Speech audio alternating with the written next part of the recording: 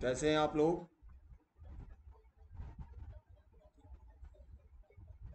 I hope each and everything would be fine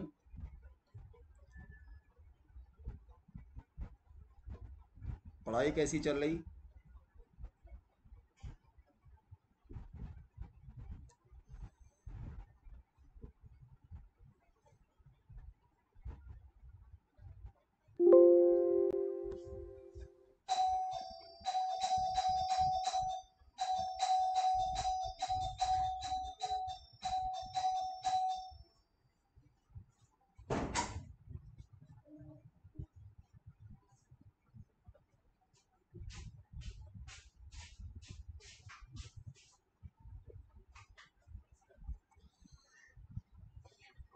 लोग शुरू करने जा रहे हैं।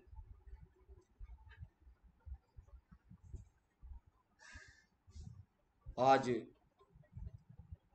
जैनिज़्म, इससे पहले की क्लास हम लोग शुरू करें।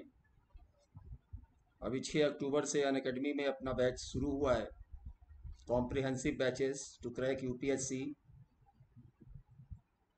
Hindi माध्यम के लिए लक्ष्य 2022 और इंग्लिश माध्यम के लिए मिशन 2022 कंप्लीट कवरेज प्रीलिम्स और मेंस के साथ। आइए, मेरे कोड को यूज़ करिए। डॉक्टर विशाल टेन, सब कैपिटल में है। और इस कोर्स को एंजॉय करिए। ठीक है? तो अब हम लोग शुरू कर रहे हैं।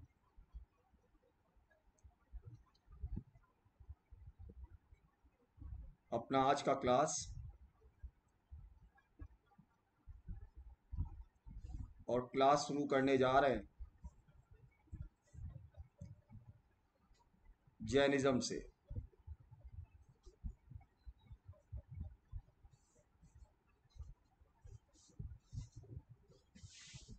जैन धर्म।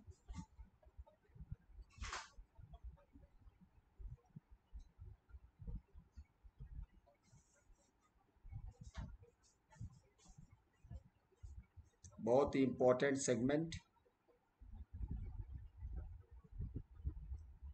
हमारे यूपीएससी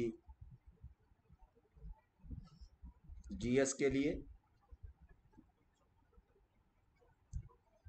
सबसे पहला सवाल उठता है कि ये जैन शब्द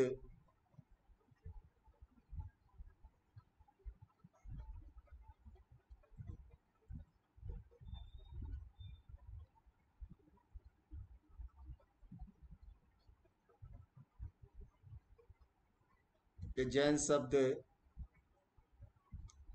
निकला कहाँ से? तो ये जैन शब्द निकला है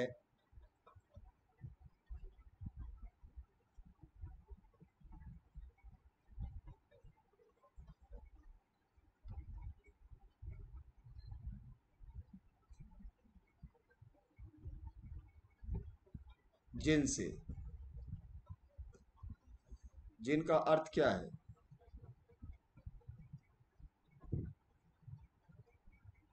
जिनका अर्थ है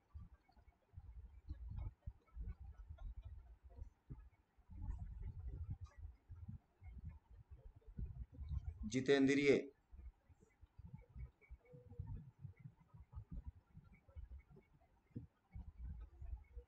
अर्थात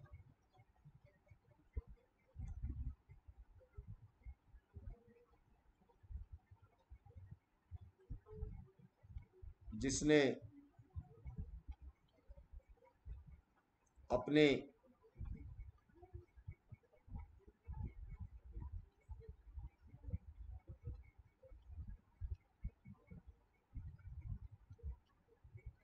इंद्रियों को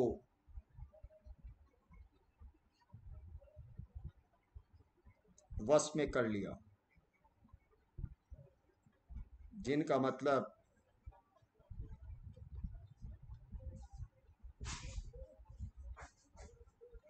जितेंद्रिय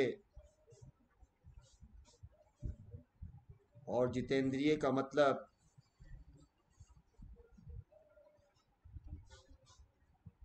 who have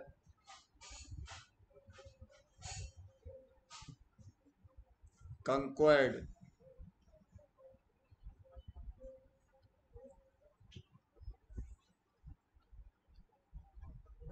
over his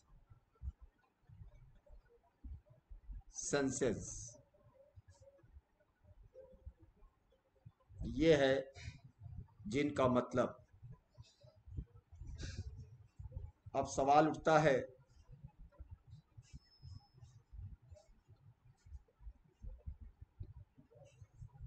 कि जैन धर्म कहाँ और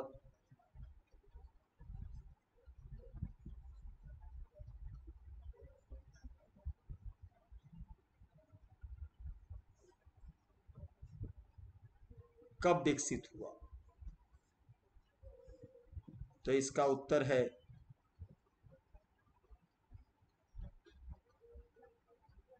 कि जैन धर्म का विकास गंगा की घाटी में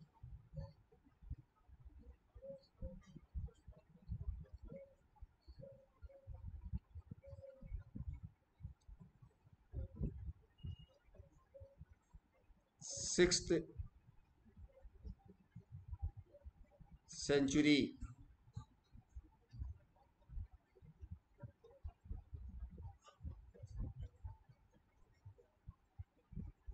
बीसी में हुआ। तो हम कह सकते हैं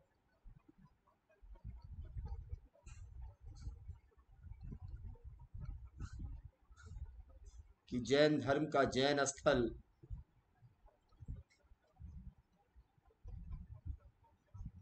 मुख्यतः।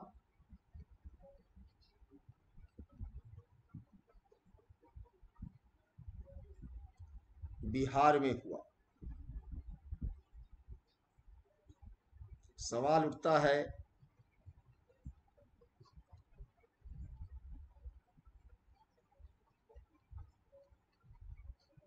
कि यह धर्म।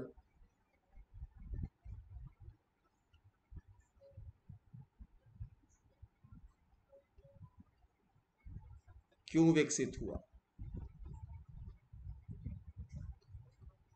तो इसका उत्तर है,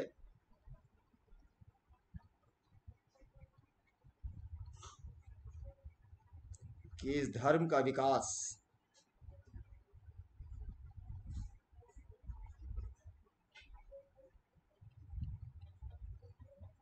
कर्म कांडों के विरुद्ध।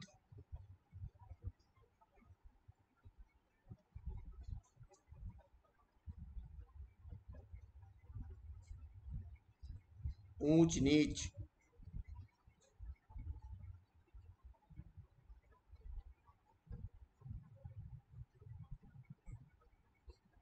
पाप पुण्य एवं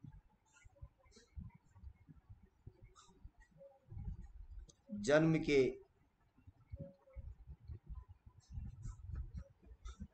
आधार पर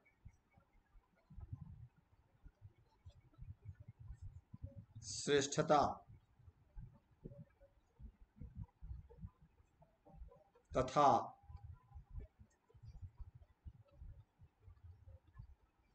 जाति प्रथा के विरुद्ध एक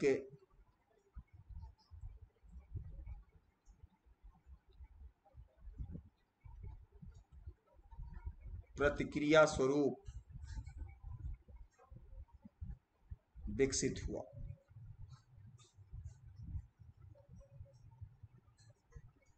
आई बात समझ में? जो कर्मकांड थे जो ऊंच नीच का कंसेप्ट था, पाप पुण्य का कंसेप्ट था,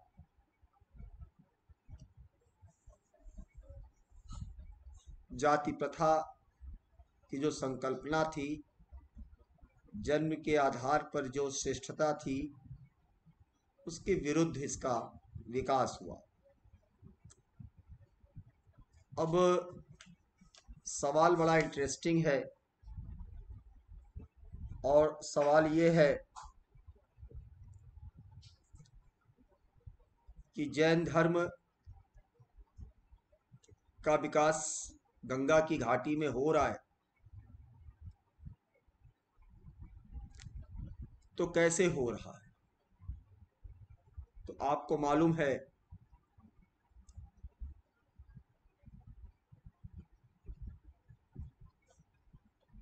कि सर्वप्रथम बिहार गिरी के बिहार के राजगिरी में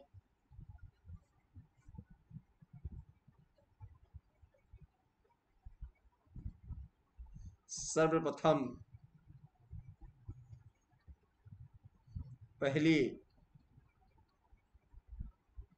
लोहे की खान मिली।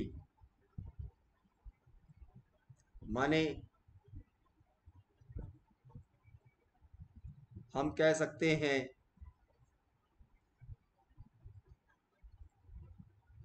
discovery of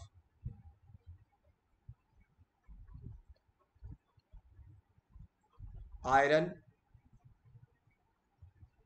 and iron know how कि कैसे लोहे का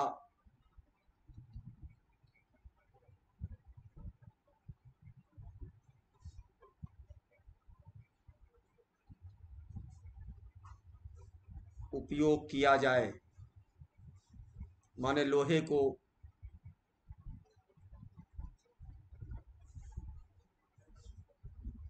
गलाने की तकनीक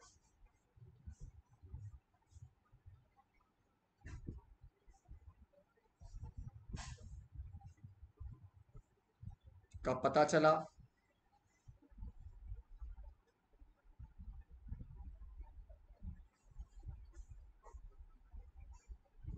साथ ही साथ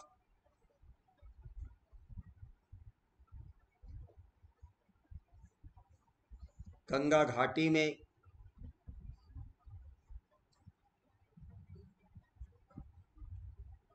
पानी की उपलब्धता इन दोनों ने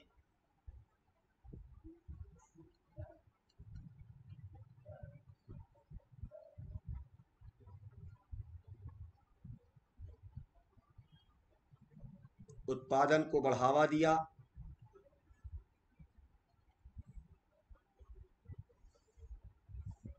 जिसने बचत दिया और बचत के साथ साथ खपत भी दिया। इसने आधार प्रोवाइड दिया, अवकाश दिया, आदमी के पास अब समय है, क्योंकि बचत है।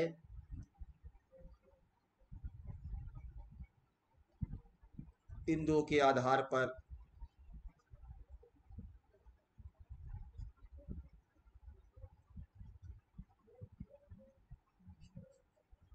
तर्क एवं चिंतन दोनों आते हैं और एक नए विचार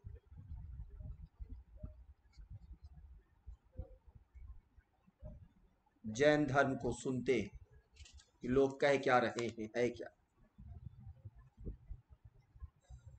तो हमारे पास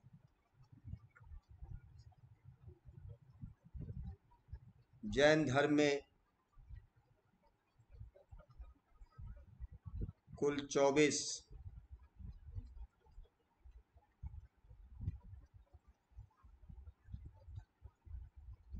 तीर्थंकर हैं। प्रथम है। ऋषभदेव और ऐसे करते करते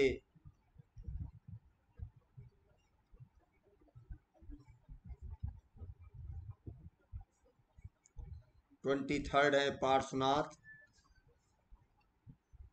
और ट्वेंटी फोर्थ हैं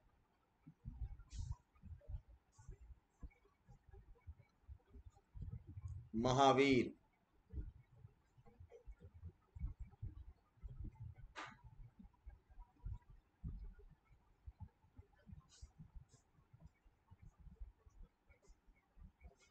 इन्हीं ट्वेंटी थर्ड और ट्वेंटी फोर्थ को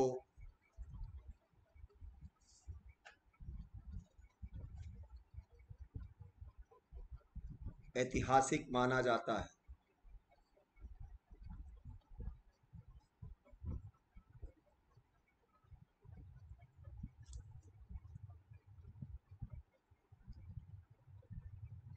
ट्वेंटी थर्ड और ट्वेंटी फोर्थ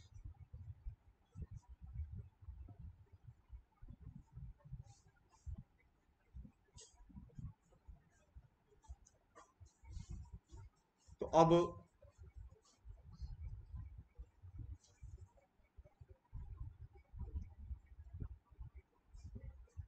ट्वेंटी थर्ड है।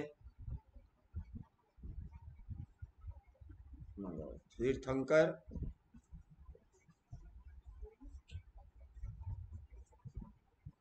ये जैन धर्म के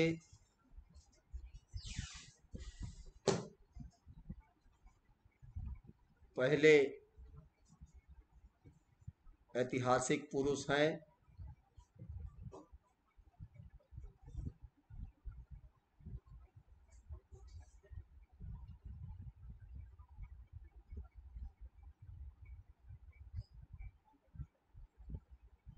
इनका प्रतीक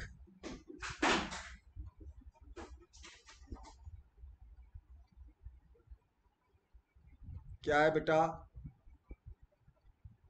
सांप का फन। किसका? पार्शनाथ का।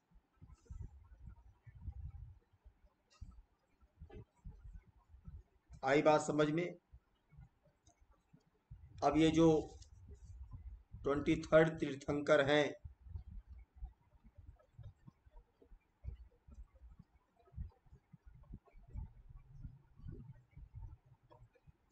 जिनका नाम पार्शनाथ है, वो पहले ऐतिहासिक पुरुष हैं। और इनका प्रतीक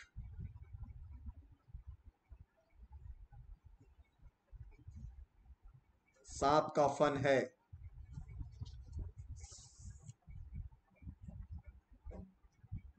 पार्शनाथ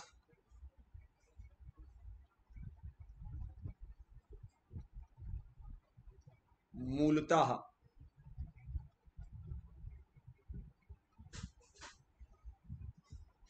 काशी वाराणसी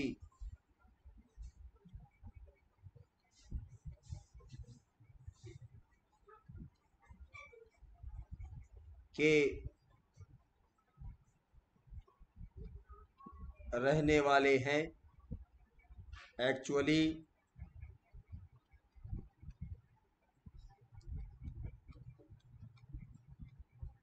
काशी नरेश थे जिनका नाम था अश्वसेन।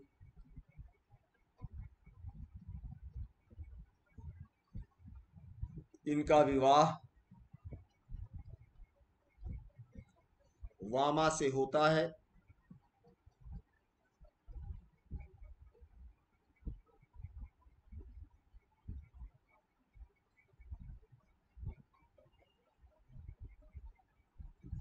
इनकी संतान है जो उनका नाम है पार्श्वनाथ। और पार्श्वनाथ का विवाह प्रभावती से होता है।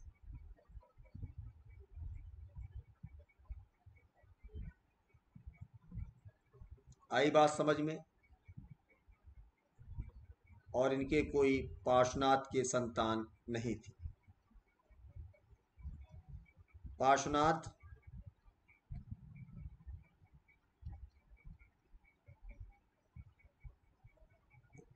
ने तीस वर्ष तक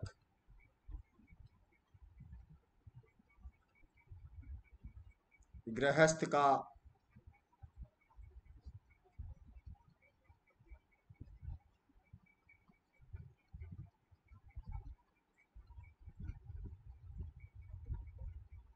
जीवन बिताया पार्श्वनाथ ने।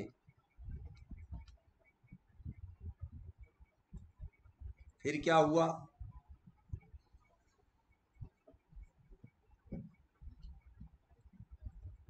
तीस।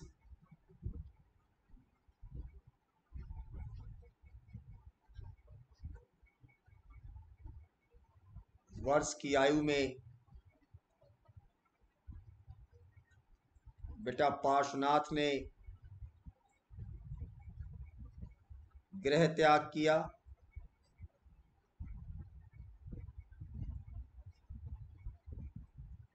और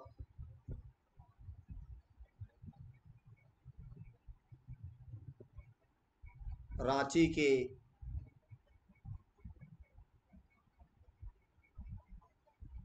समेत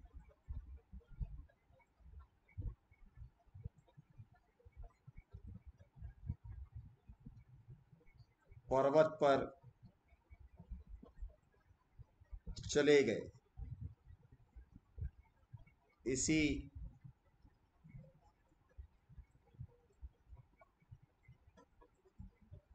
सम्मेद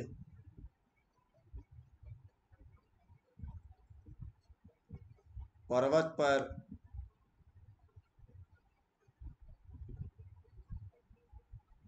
तिरासी दिन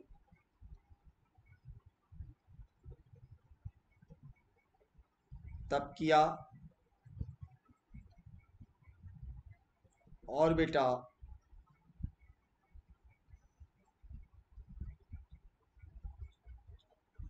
चौरी एट्टी फोर्थ डे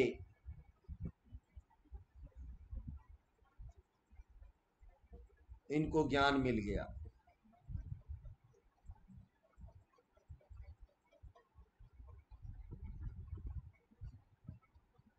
कब ज्ञान मिला?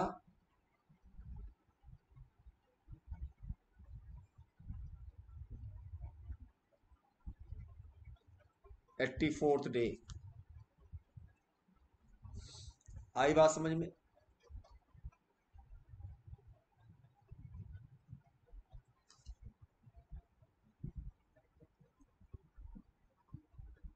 ग्रह त्याग किया।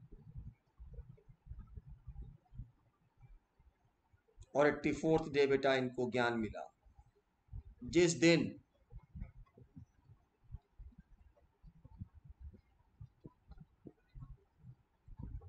जिस दिन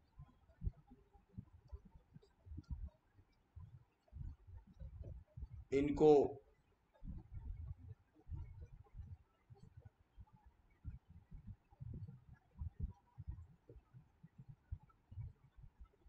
ज्ञान मिलता है।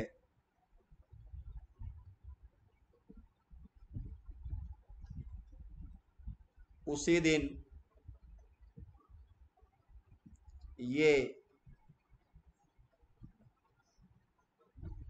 निर्ग्रंथ कहे गए।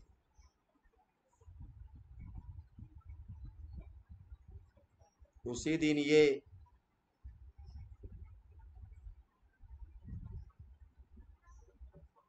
निर्ग्रंथ कहे गए। इस निर्ग्रंथ का मतलब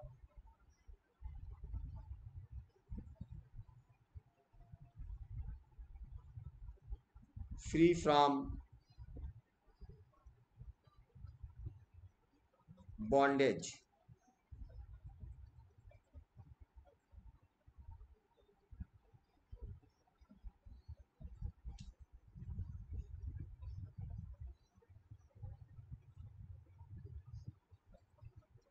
इनके अनुयायी भी।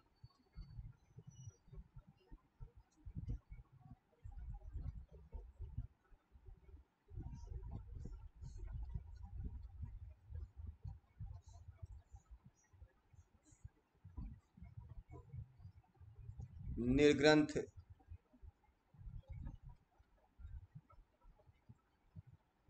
कहे गए। निर्ग्रंथ का मतलब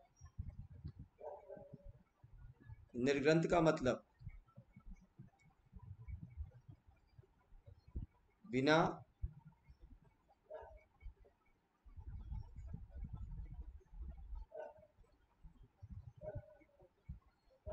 बंधन के फ्री फ्रॉम बॉन्डेज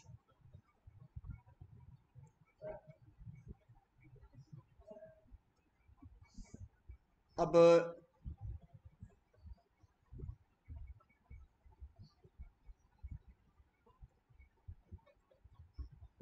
महावीर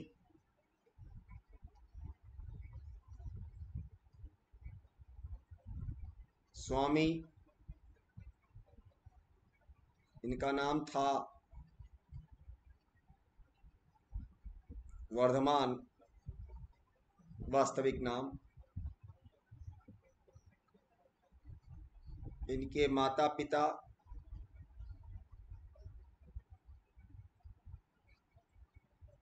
ये सब लोग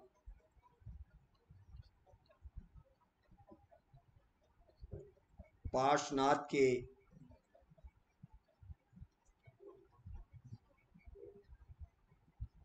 शिष्य थे।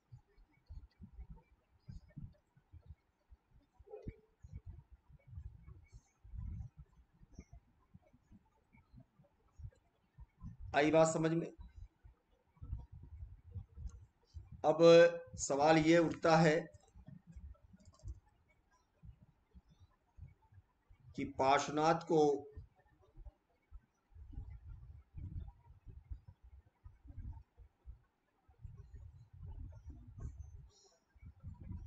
क्या ज्ञान मिला?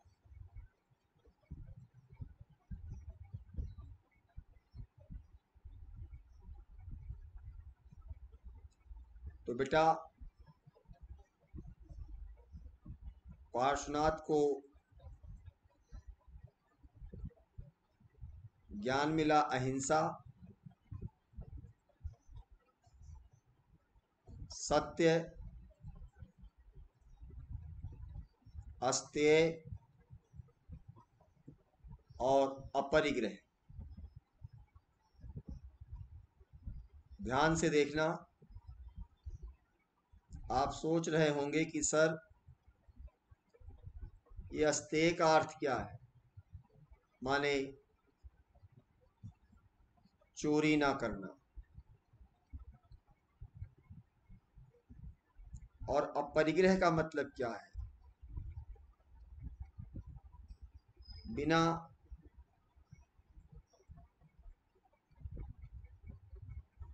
आवश्यकता के इकट्ठा ना करना। जैसे आप लोग तमाम नोट्स तमाम कापी किताब इकट्ठा करने लगते हो, मत करिए, अपरिग्रह। ये जो चार ज्ञान मिला, इसी को कहा जाता है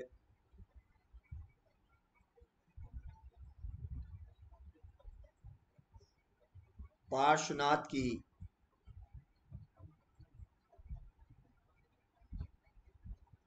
शिक्षा।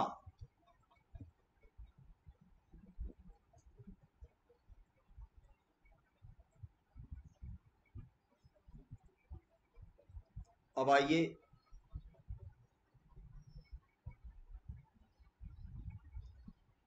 तो इस प्रकार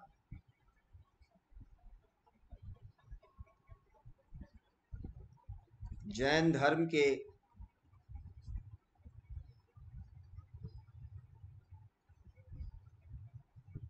संस्थापक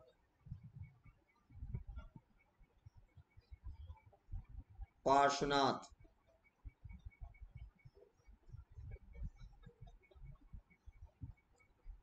लेकिन वास्तविक संस्थापक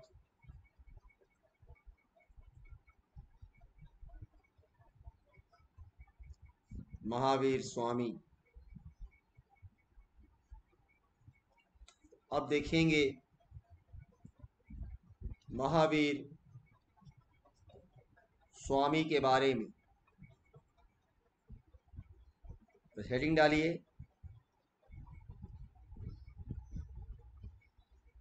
महावीर स्वामी।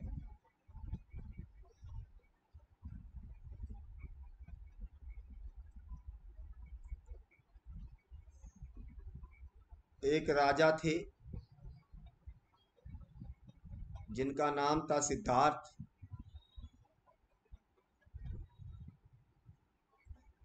ये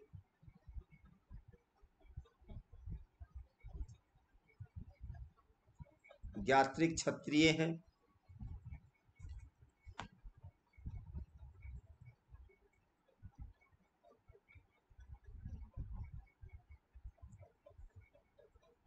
कुंड ग्राम के मुखिया हैं।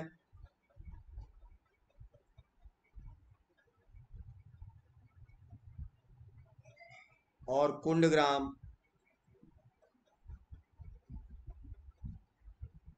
बेटा वज्जी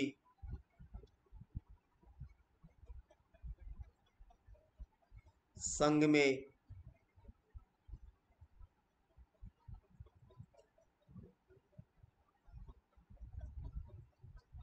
स्थित है।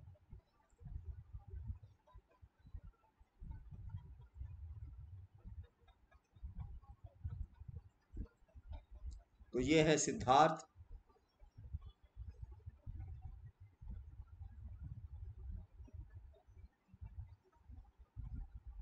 सिद्धार्थ की पत्नी का नाम है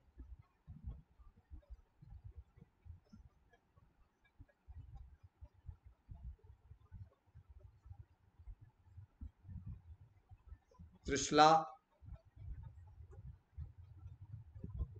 ये त्रिशला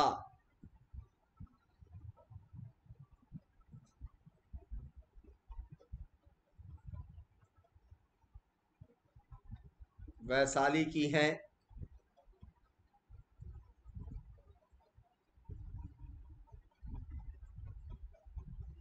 ये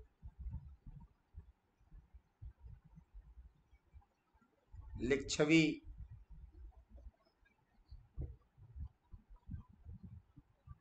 राजवंश की हैं।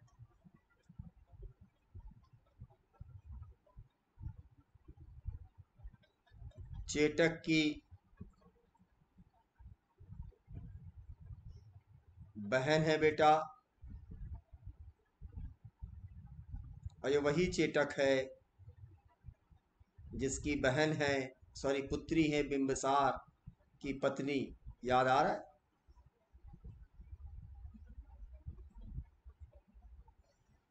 सिद्धार्थ और त्रिशला के पुत्र हैं नंदीवर्धन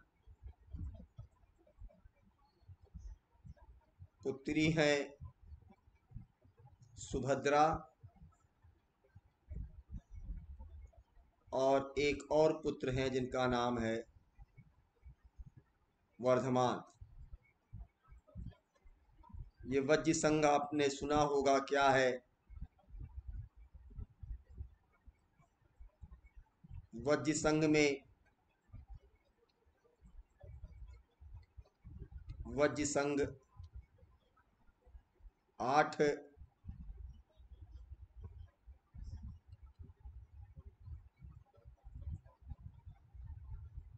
राज्यों का संघ है और उसी में से एक है कुंडग्राम। आई बात समझ में? तो ये है महावीर स्वामी के पर्सनल हिस्ट्री। हुआ क्या? कि वर्धमान।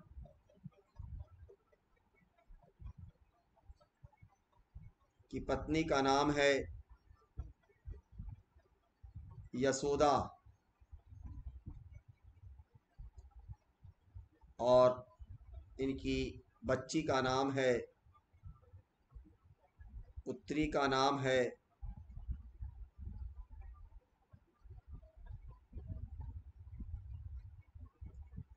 प्रिय दर्शना। आई बात समझ में? वर्धमान का विवाह किससे हो रहा है? यशोदा से। ठीक है। अब जो जैन ग्रंथ है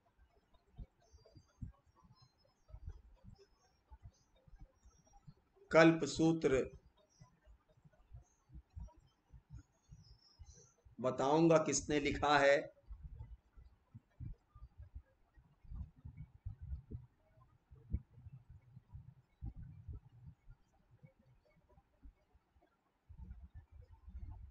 भद्रबाहु द्वारा रचित कल्पसूत्र की कहानी के अनुसार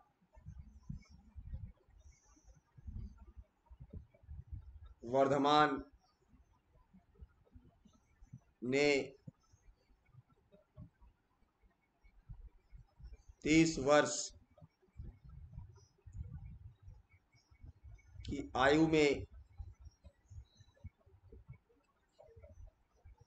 अपने भाई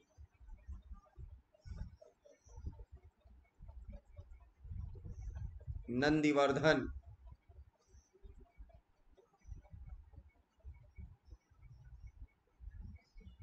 से अनुमति लेकर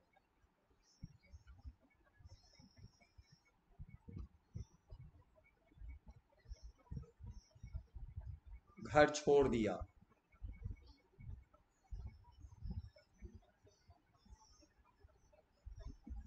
इस घटना को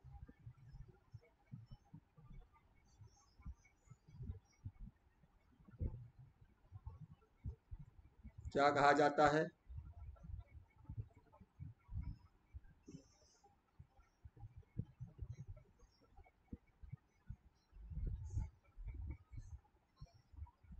निष्क्रमण कहा जाता।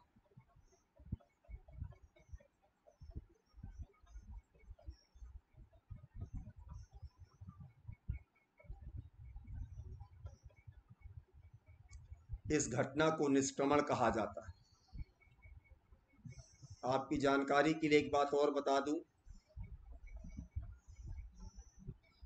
कि जो जैन साहित्य है,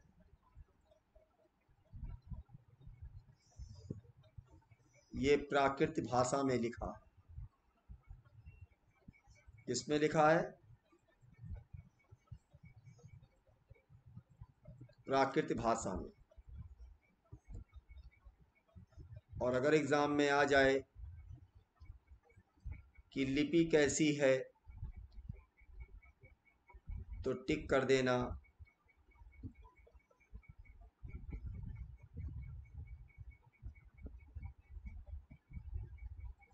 अर्धमगधी।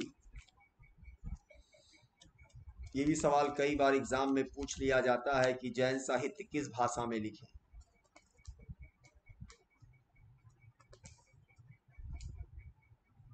तो अपने भाई से अनुमति लेकर घर छोड़ा, इस घटना को कहा जाता है।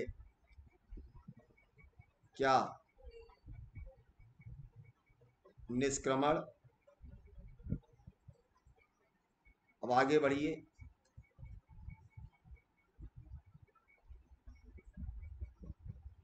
घर छोड़ने के बाद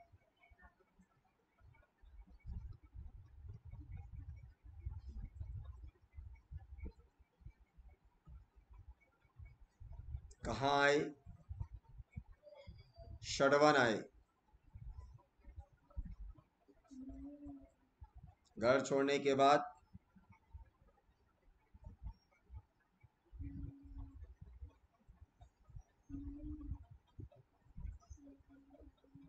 षडवन आए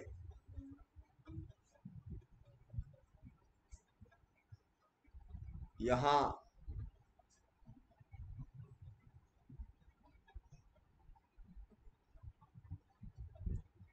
सड़वन में बेटा।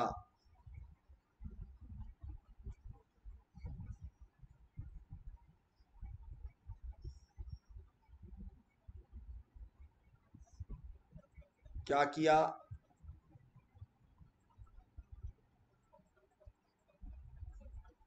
वर्धमान ने अपना आभूषण फेंक दिया और अपने हाथों से अपने बालों को नोच डाला। इसीलिए जैन धर्म में प्रवेश की पहली शर्त है बाल मुड़वाना। अपने हाथों से बाल को उखाड़ दिया।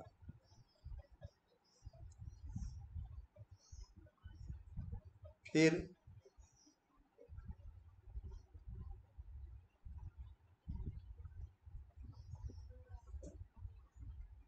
कहाँ आए? कुम्हार ग्राम आए।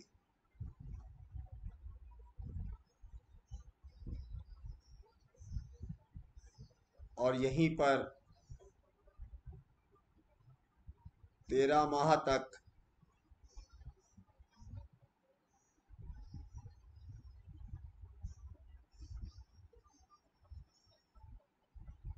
तब किया। तो घर छोड़ने के बाद कहाँ आए?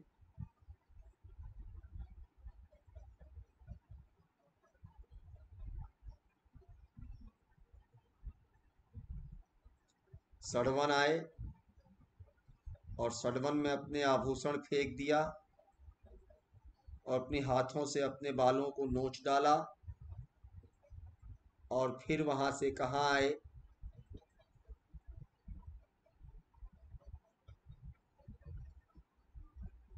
कुम्हार ग्राम।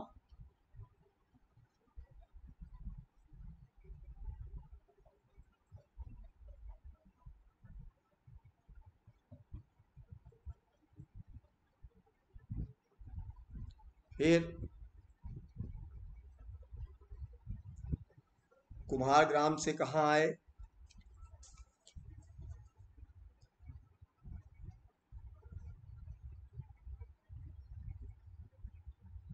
फिर कुम्हार ग्राम से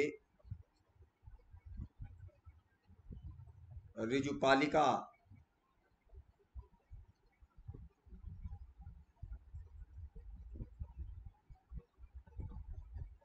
नदी के तट पर आए।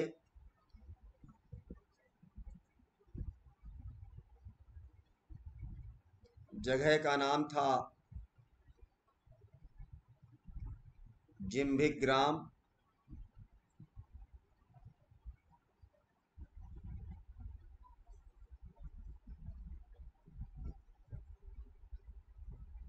जिम्भिक ग्राम जगह का नाम था।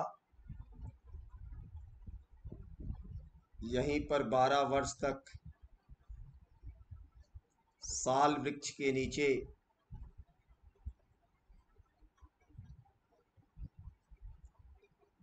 तपस्या किया।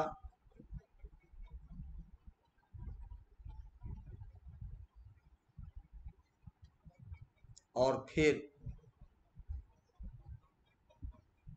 उस तपस्या के बाद इनको ज्ञान की प्राप्ति हुई।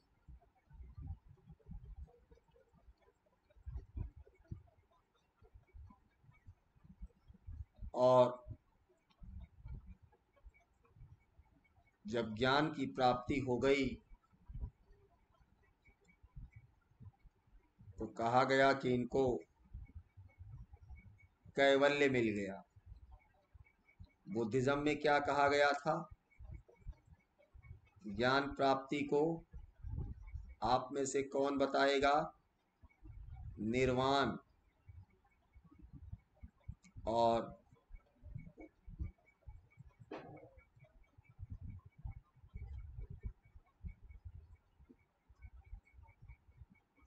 जैनिज्म में कहा गया कैवल्य। ज्ञान प्राप्ति को कैवल्य कहा गया। तो जिसको ज्ञान मिल रहा है या जिसको ज्ञान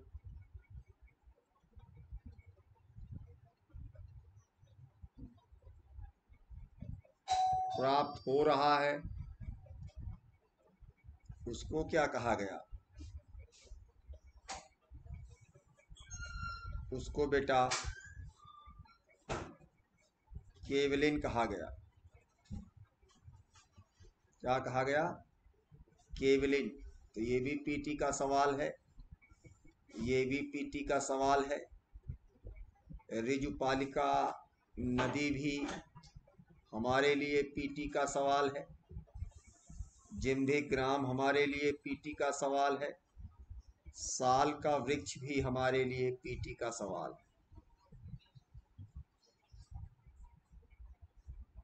मतलब ज्ञान की प्राप्ति हो गई तो क्या कहलाए? केवलिन। अब जरा इनकी उपाधि देखना। ज्ञान की प्राप्ति ज्ञान की प्राप्ति। तो कहलाए केवलिन। अब जब ज्ञान की प्राप्ति तो इंद्रियों पर नियंत्रण। तब जब इंद्रियों पर नियंत्रण, तब जब इंद्रियों पर नियंत्रण, तब क्या कहलाए? जितेंद्रिय अथवा कहलाए जिन। जनता ने उपाधि दी महावीर का। जनता ने उपाधि दिया महावीर का। चूँकि पहले पार्श्वनाथ के शिष्य थे, चूँकि पहले पार्श्वनाथ के शिष्य थे, चूँकि पहले पार्श्वनाथ के शिष्य थे, अतः एक और उपाधि है। क्या निर्ग्रंथ? तो ज्ञान की प्राप्ति हुई। तो एक उपाधि केवलिन, एक उपाधि जितेंद्रिय, एक उपाधि जिन, एक उपाधि महावीर, एक उपाधि निर्ग्रंथ। हलो बेटा, चूँकि गोत्र क्या था? चूँकि गोत्र क्या था? नत तो इसलिए एक और उपाधि, इसलिए एक और उपाधि। क्या क्या नत पुत्र एक और उपाधि, एक और उपाधि, एक और उपाधि, एक और उपाधि। निगंठ नाथ पुत्र अब एग्ज़ाम में कोई सवाल आ जाए, पुत्र से टाइटल से संबंधित तो हमारा ये लेक्चर देख लेना, मिला लेना। केवलिन जितेंद्रिय, जैन, महावीर, निर्ग्रंथ, नतपुत्र और एक और उपाधि निगंठ नाथ पुत्र। यह है महावीर की उपाधि। एक उपाधि और है। एक उपाधि और है, जब इनको कहा गया, दिया गया टाइटल श्रमण तो ये भी जनता ने रखा था क्योंकि ये शंका से मुक्त थे। एक और नाम है इनका, उपाधि, अरहत।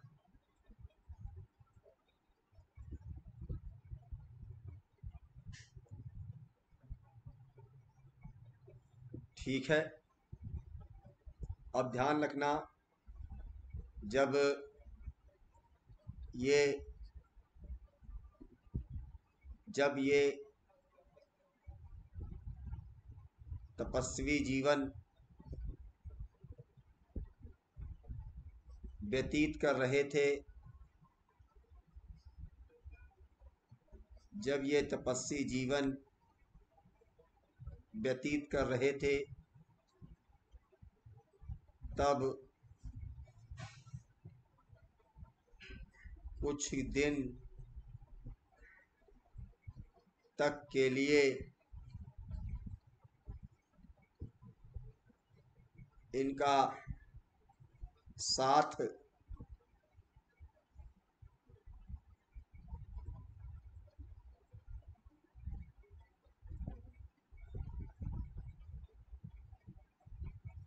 मक्खली गोसाल ने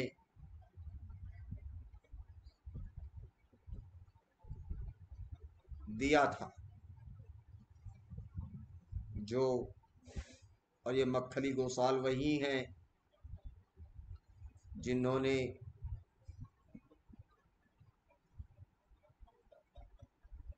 या जो आजीवक संप्रदाय के जनक माने जाते हैं।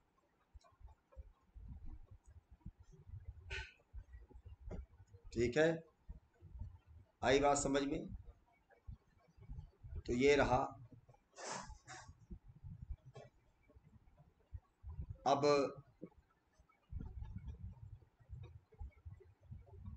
पार्श्वनाथ की शिक्षा में। पार्श्वनाथ की शिक्षा में।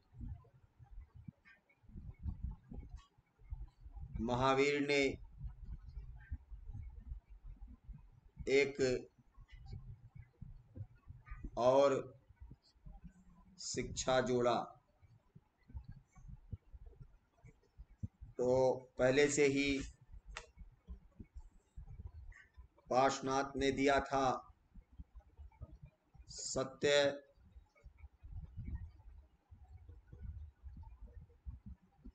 अहिंसा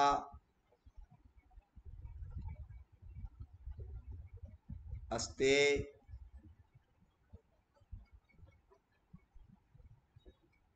अपरिग्रह पांचवा जो महावीर ने जोड़ा बेटा वो है ब्रह्मचर्य। ये महावीर ने जोड़ा। अब कितना हो गया कुल? पाँच। कितना हो गया? पाँच।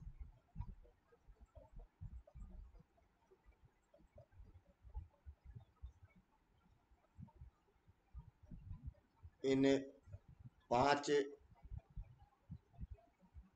शिक्षाओं को क्या कहा गया?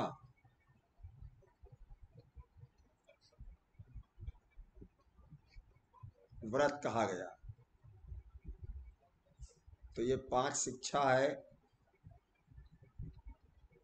अब अगर इसका पालन साधु कर रहा है।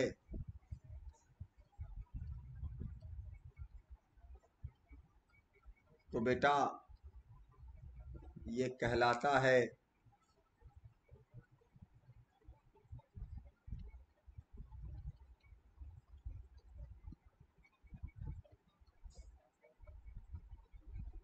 महाव्रत। और अगर पालन कोई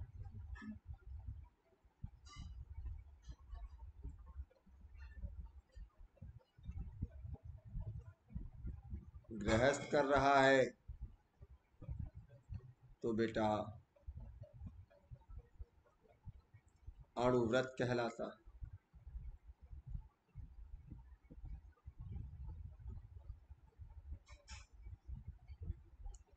है ये भी पीटी का सवाल है। साधु पालन करे, तब महाव्रत और गृहस्थ पालन करे, तब अणुव्रत। तो ये है बेसिक जैनिज्म बेसिक बताया है मैंने केवल। एडवांस क्लास के लिए भाग दो करेंगे। जैसे बुद्धिज्म में किया है, भाग एक, भाग दो। और मेरा विश्वास करिए, आप कापी, पेन लेकर बैठिए। जितना मैंने आपको बोर्ड पर लिखा है, अपना नोट्स बनाते चलिए। मैं आपको विश्वास दिलाता हूँ, निराश नहीं होंगे आप एग्ज़ाम में। इसके पहले भी हम कई टॉपिक ले चुके हैं यूट्यूब पर, और अब वो टॉपिक लेते हैं जहाँ से परीक्षा में हमसे सवाल गलत हो जाता है। एक मैंने टॉपिक कराया है economic aspect of British rule विज्ञान में कराया है नैनो टेक्नोलॉजी विज्ञान में ही कराया है स्पेस रिसर्च इसके अलावा आप मेरी स्पेशल क्लास में देखें तो वो वो टॉपिक जो सामान्यतः छूट जाते जैसे सिक्कों का इतिहास sources to know Indian history भारतीय इतिहास को जानने के स्रोत, विदेशी विवरण तो आप उनको भी देख सकते हैं। तो ये रहा भाग एक जैनिज्म का। यह है जैनिज्म का भाग एक। भाग दो, जैनिज्म का, जैन धर्म का एडवांस लेवल फिलॉसफी करेंगे। स्यादवाद अनेकांतवाद, न्यायवाद जैन धर्म का दर्शन। जैन धर्म कैसे बौद्ध धर्म से अलग है और फिर कैसे जैन धर्म में विभाजन होता है और फिर जैन साहित्य और फिर कौन कौन से राजाओं ने जैन धर्म को प्रश्रय दिया, ये हम लोग अपनी अगली वीडियो में देखेंगे। भाग दो। समझ गए?